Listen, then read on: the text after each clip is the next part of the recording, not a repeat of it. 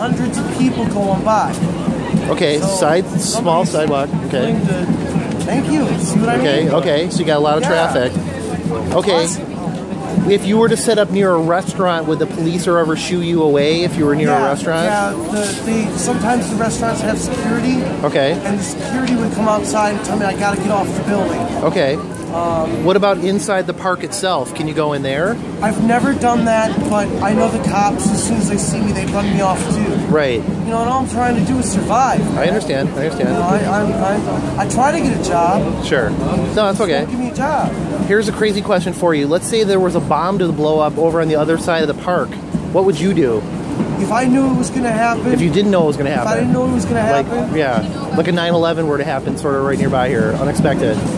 Honest to God, I would do my best to go and rescue and help people. Okay.